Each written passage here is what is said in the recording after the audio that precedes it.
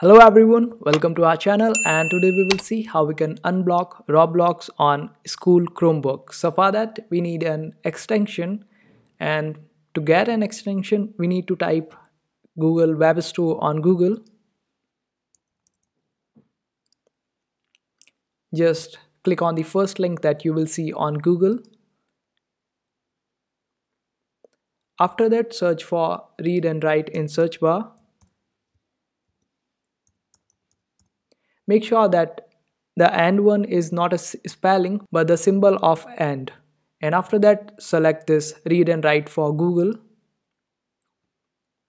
You will be able to see this extension in purple color. Just click on it and click on add to Chrome. Since I already have it, it is saying remove from Chrome for me. But for you, it will say add to Chrome. Just click on it and then click on add extension and it will be added in your extensions. Just pin it so it appears right here. And after that just open up a new tab. And in the new tab you will need to paste a link. I will provide this link in the description. Just copy this link and paste it in the search bar. Let it load. After that you don't have to sign in using this options. Just click on sign in options at the bottom and then click on this option of sign in with github. Then you don't have to worry about this email address and password. All you have to do is just click on this github icon on the top.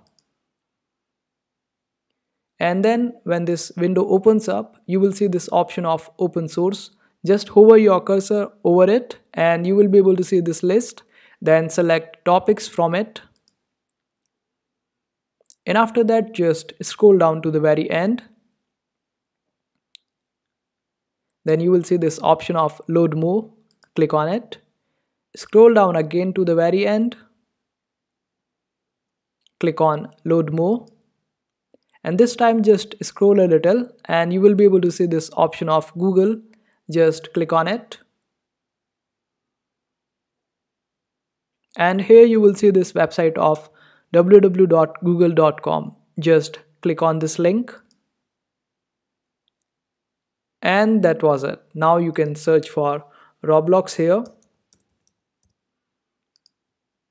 And you can just visit the website type in your details and log into your roblox account and you can play it. And that's how you do it I hope this video was helpful. Make sure to hit that like button and also subscribe to our channel for more helpful videos.